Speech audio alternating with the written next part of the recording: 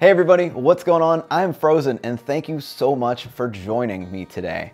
Anybody remember these? 2016, does that ring a bell? If you've been following the channel for a while, you might remember me talking about my disappointment in the Spider Poly Pro webbing sold by DutchwareGear.com.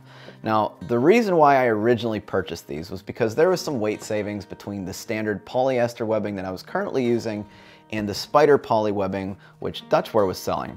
Also, as an added bonus, there was supposed to be a little more uh, water resistance or it didn't hold on to water as well as the polyester webbing. And I'm just thinking to myself about the weight savings at that point. Not even considering the durability that this could possibly have over the nylon webbing. And that's what I wanna talk with you today. This is a long-term review of this webbing that has been on my hammock for the past no, two and a half, almost three years now. And this has over 200 hangs on it. And right now it is not showing any signs of wear or tear, no stitching issues.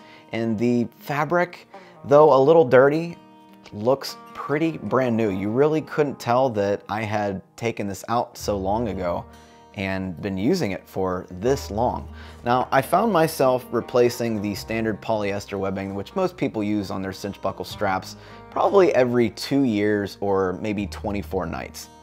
And, you know, over time, that is a big deal because that money adds up.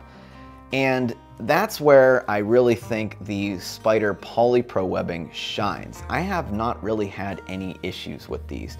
It grips the cinch buckle excellent. You can use it in a Beckett hitch system if you don't want to use cinch buckles. There's just really no reason to not use these, except for one minor detail. Going back to my 2016 first looks at this where I did the water test, right? I put both uh, suspensions, the webbing in a bucket, swished it around with water, kind of flung it around, got the water out, and this was still holding a ton of water and took over seven hours to dry. That's really the only downside of this. Yes, this dries a little faster, but I do feel like over time, this would far outweigh the cost of buying these every now and then. All right, so comparing and contrasting both of these webbings, the standard versus the spider Poly webbing, obviously you can see the looks difference. You're looking at an all black versus a black and white, almost zigzag pattern. When you're handling the polyester strap, it does feel a bit firmer and more rugged than the Spider Poly Mix, but I can assure you that the durability is in favor of the Spider Poly strap. Both of them have a 1500 pound break strength. And when looking at your weight savings, you're gonna save about one ounce for two 12 foot straps. So each strap weighs a half an ounce less than a standard polyester strap. When we're talking about leaving the suspensions out in the rain and dry time is the big difference between these two. The polyester strap holds about 0.65 ounces of additional water until it dries over the course of six hours.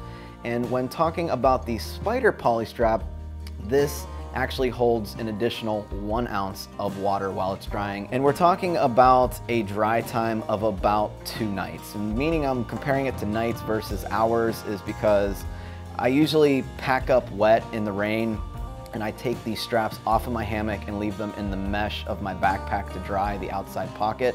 And then I put it back on my hammock whenever I reach camp. Some people might be wondering what the heck this little dangly thing is on the end of this. This is a, carabiner replacement. Uh, it's called an Evo Loop. There's tutorials on how to make these if you want to do it yourself with some Amsteel, Or if you head on over to Jeff Myers Tech, um, his Facebook site, I'll leave some links in the video description. Uh, you can just purchase these. He has an eBay shop uh, that you can get these from. But uh, this basically, uh, for those familiar or use the Dutch clip, these are great. I think these are like, uh, you know, five, six grams or so. They're titanium. And what they do is they go around a tree and then you kind of just loop into that tree, just like that. Uh, my issue with these on the lighter webbings, especially if you're using you know light webbings with a Beckett hitch and not a cinch buckle, uh, these do tend to wear out. Kind of looks like someone took a scissor and just started cutting your webbing if you kind of hang in the same spot every time. With this, this is three grams, replaces a carabiner, and just you know, does the same thing. Plus, as a bonus, you can actually uh, take this off one-handed. So after years of back and forth between different types of webbings, I do finally recommend the Dutchware Spider Poly Pro webbings, which means I am looking to try something new. So if you have a webbing brand or a type of webbing for a cinch buckle system, I'm not into whoopie slings. I've tried those plenty of times. It's just not my thing, but I am willing to try something new that works with the cinch buckle system. So leave your recommendations for me down in the comments below. I'd love to try something new. I'd even be willing to start maybe shying away from it and doing something with a Beckett hitch or something like that. So let me know what you guys use and recommend. And also let me know how your experience has gone with the Dutchware Spider Poly Pro webbing. Thanks everybody for watching. If you found any use in this video, click that subscribe button and also give me a thumbs up. It greatly helps the channel and helps me even more get on the Pacific Crest Trail for another through hike. Thanks everybody. I'll see you in the next one.